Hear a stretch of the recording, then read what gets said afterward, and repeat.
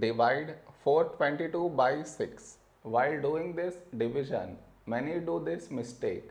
What is the mistake that they do?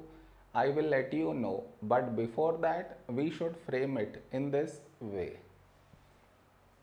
422 and 6 here. This is your step 1. Next. Here we have 4 and here 6. 4 is smaller than 6. So take two numbers 42. When do we get 42 in 6 table? 6 sevens 42. Now we should subtract. We get 0. After this bring down the beside number. So 2 down.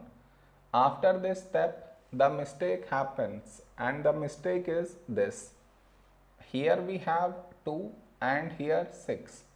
2 is smaller than 6. So what many do is they directly put dot take 0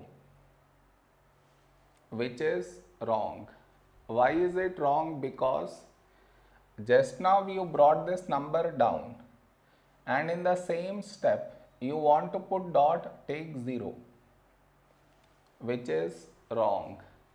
I repeat bring down the number and also put dot take 0 bring down the number and put dot take 0 both at the same step you should not do. Instead of that what you should think of doing is which number should we take here?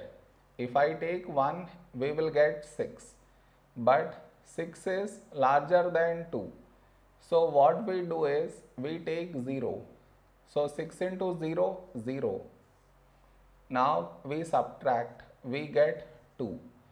Over here we did not bring any number down and 2 is smaller than 6. So now we can put dot and take 0.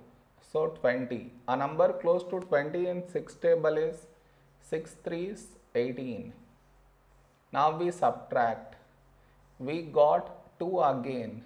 That means we get bar on this number. Did you understand where does the mistake happens? You should not do that mistake.